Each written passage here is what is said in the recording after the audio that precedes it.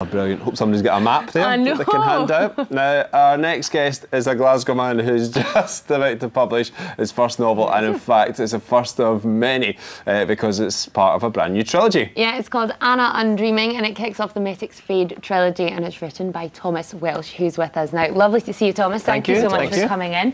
Now, tell me, what, what's the story all about? What's the book about? So it's about Anna. She's the main character, and uh, she was a student. She's now graduated, did her thesis or whatever, and it's about her kind of exploring this world that's influenced and changed by these people called the Dreamers. So these people, with them, their art literally changes the world. Wow. So it's kind of this kind of magical uh, environment in the real world. She's had a lot of trauma, trauma in her past, and she's coming to terms with that, while also coming to terms with this kind of magical world that she's exploring. Sounds Now, incredible. It's described as a feminist fantasy trilogy. Where did the idea for that come from?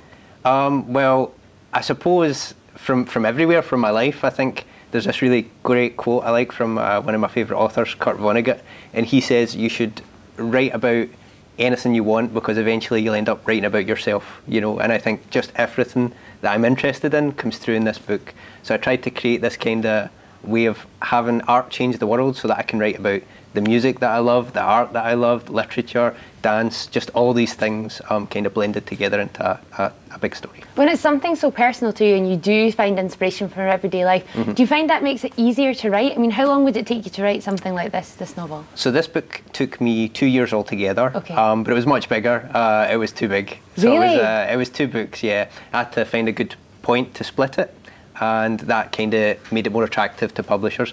And at the same time, I was kind of publishing some short stories and stuff as well. Um, so two years, but that's doing a lot of other A stuff A lot of as work well. on this, yeah, yeah, amazing. And Glasgow's inspired you for quite a lot of this Yes. book. Why? In what way? Um, I think Glasgow is a city that has everything in it. So you see, like you've got beautiful views out the window here. You've got the Clyde, you've got the river, but you've got very dark areas. You know, you've got dangerous places in Glasgow, but you've Yeah. got beautiful places too.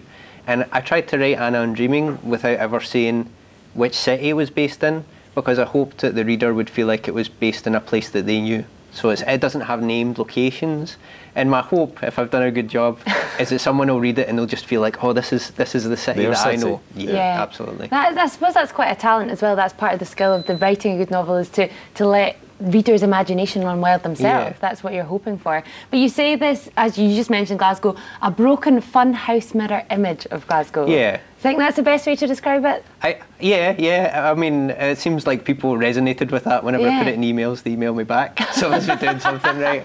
Have to try and yeah sell it. But I think there's aspects of everything. You know, at the end of the day, when you're writing fiction, Yeah. you pull just everything from your life and you mm. blend it together.